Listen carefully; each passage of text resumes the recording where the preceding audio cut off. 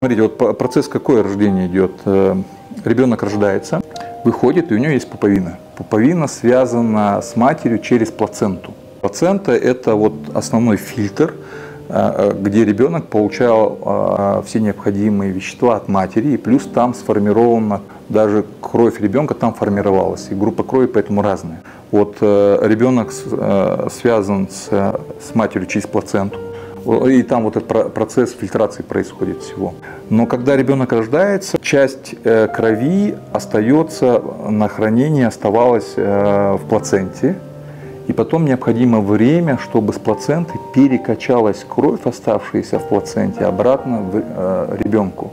В среднем это до 15-20% крови, в среднем это остается в плаценте. Теперь оно перекачивается у кого-то быстро, у кого-то медленно. Например, у четвертого ребенка, третья дочь, у нее где-то 25 минут это было. А у средней дочери 43 минуты или 47 минут.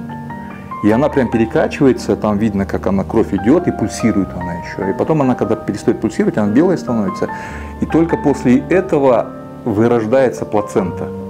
То есть э, таким образом устроены вот весь процесс рождения ребенка, э, плацента вырождается после этого.